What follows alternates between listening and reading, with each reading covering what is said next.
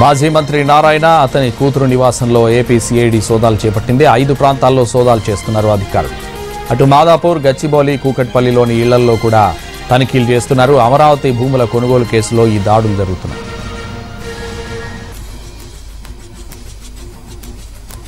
CID సోదాలపై మరిన్ని వివరాలు మా ప్రతినిధి రాఘవేంద్ర అందిస్తారు. రాఘవేంద్ర.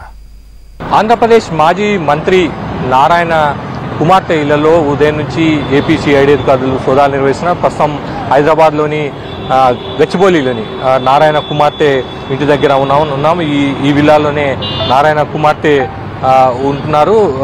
ఉదయం నుంచి కూడా ఏపీ సిఐడి అధికారులు సోదాలు నిర్వహిస్తున్నట్టుగా తెలుస్తుంది. హైదరాబాద్లోని కుకట్పల్లి కొండాపూర్ ప్రాంతాల్లో కూడా సోదాలు ఏపీ సిఐడి అధికారులు నిర్వహిస్తున్నట్టుగా తెలుస్తుంది. ప్రధానంగా అమరావతి రాజధాని భూముల కొనుగోలుకు సంబంధించిన వ్యవహారంలోనే ఇప్పటికే ఏపీసీఐడి పలు కేసులు నమోదు చేసింది. దానికి సంబంధించిన విచారణ కూడా కొనసాగుతుంది ఇన్వెస్టిగేషన్ కూడా కొనసాగుతుంది. దాంతో దర్యాప్తులో భాగంగానే ఇవాళ కూడా తాజాగా ఉదయం నుంచి నారాయణ కుమార్తె ఇళ్ళలో సోదాలు నిర్వహిస్తున్నట్టుగా తెలుస్తుంది. దీనికి సంబంధించి సిఐడి ఇంకా అధికారికంగా ప్రకటన చేయాల్సి ఉంది. ప్రధానంగా టీడీపీ హయాంలో అమరావతి ఆ, భూముల కుంభకోణంలో అక్రమాలు జరిగాయని వైసీపీ ఆరోపిస్తుంది. వైసీపీ అధికారంలోకి వచ్చిన తర్వాత దీనికి సంబంధించి విచారణ కూడా ఆదేశించారు. ఈ నేపథ్యంలో ఏపీసీఐడి వాళ్ళు కేసులు కూడా ఈ భూముల వివరానికి సంబంధించి నమోదు చేసి విచారణ కొనసాగిస్తుంది. అందులో భాగంగానే తాజాగా ఇవాళ నారాయణ కూతురు ఇళ్ళలో కూడా సోదాలు ఉదయం నుంచి ఏపీసీఐడి అధికారులు నిర్వహిస్తున్నట్టు తెలిసింది అయితే ఈ సోదాల్లో ఇప్పటివరకు ఎటువంటి సమాచారం దొరికిందన్న దానికి సంబంధించి ఇంకా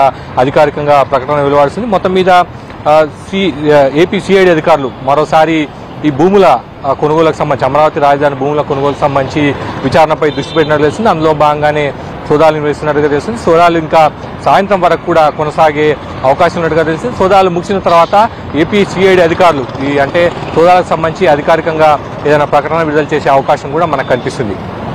రాఘవేంద్ర ఎన్టీవీ హైదరాబాద్.